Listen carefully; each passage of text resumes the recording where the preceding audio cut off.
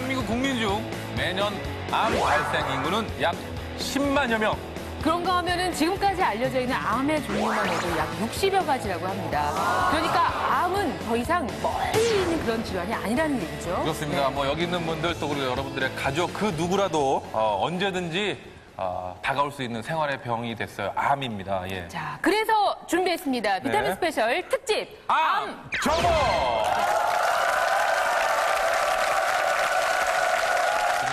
주제는 바로 아, 중년 남성들의 사망 원인 1위가요. 바로 이건데요.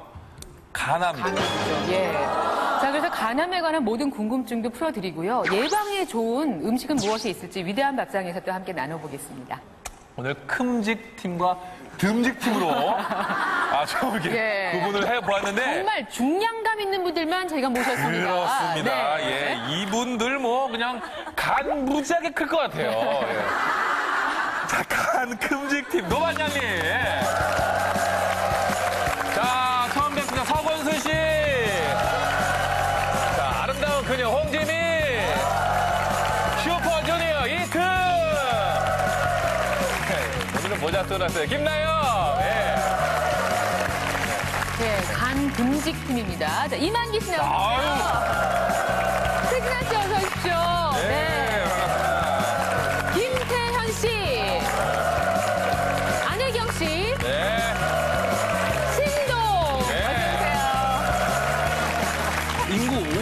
명당 한 명꼴로 발생하는 그 암. 여기 나오신 분들은 어떻습니까? 예. 제가 그 알코올 분해가 잘 안 되는 체질이어서 네. 한 잔 술에 남들 한 병만큼의 그 시기를 네 느끼시는구나. 그렇게 되기 때문에 곱게 늙자. 그래서 끊었습니다. 아, 근데 같은 중년이지만 정말 이만기 씨, 혜진아 씨, 또 노반장님까지 세 분 다 다 이게 체형도 다르고, 그쵸? 태진아 씨는 어떠세요? 저도 뭐 간은 괜찮아요. 아. 예, 수치 좋아요. 걱정해 보신 적 없으시고. 예, 뭐 조사, 조사할 때마다 6개월마다 한 번씩 조사하면 네. 아주 수치 좋아요. 조사입니까? 검사입니까? 검사. 아, 본인의 몸을 조사를 누가 해줍니까?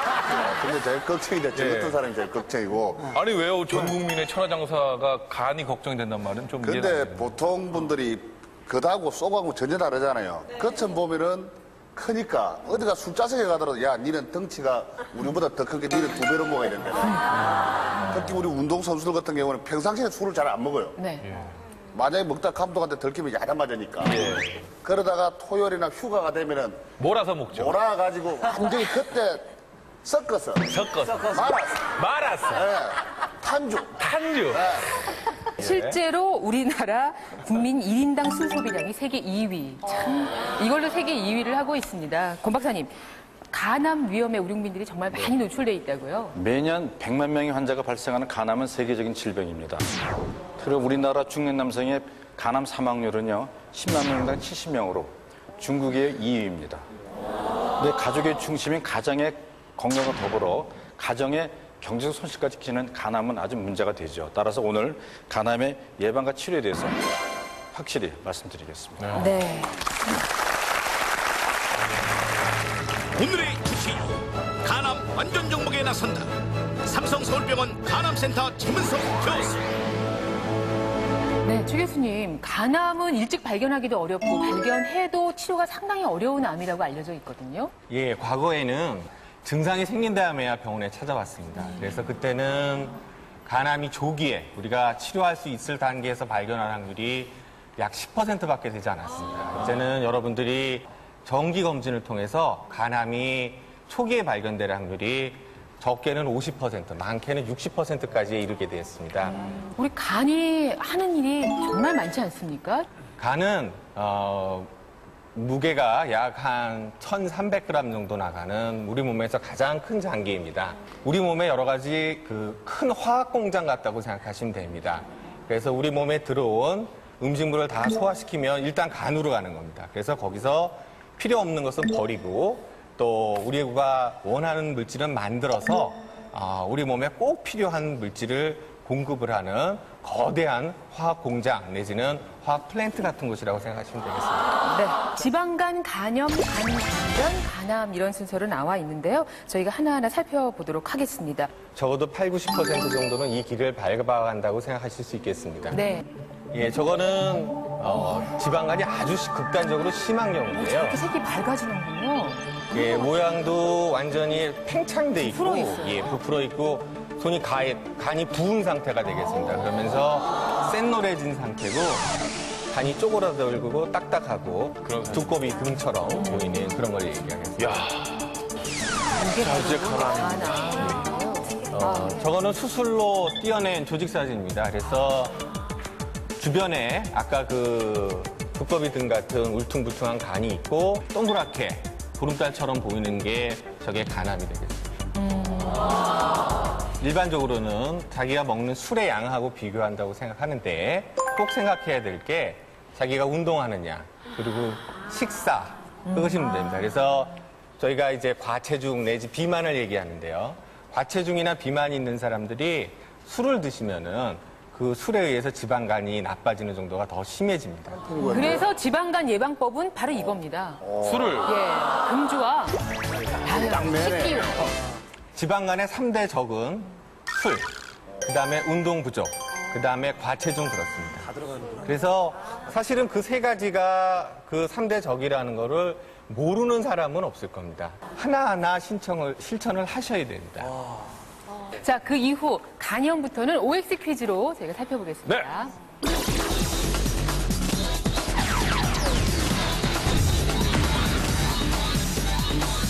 간암은 유전된다. 어, 어 공평합니다. 어떻게 보니까. 예. 정답은 X입니다. 네, 사실은 간암은 전혀 유전이 되지 않습니다. 물론 어 그래요? 어, 얘기하신 대로 가족력이라 그래서 그런 게 있을 확률이 조금 높은 건 사실이지만 대부분 그거는 간암 자체가 유전되는 건 아니고 우리나라 간암 환자가 100명이라 그러면 그중에 60명이나 70명은 사실 비형 간염에 의한 겁니다. 엄마한테 자식에게. 그러니까 소위가 수직 감염이라 그러는데요. 그걸 통해서 걸리기 때문에 사실은 그 간암에 어떻게 보면 씨앗 같은 게 내려오는 거지 무조건 어머님이 간암이라 그래서 자식도 간암에 걸린다는 법은 없습니다. 간염? 백신. 이거면.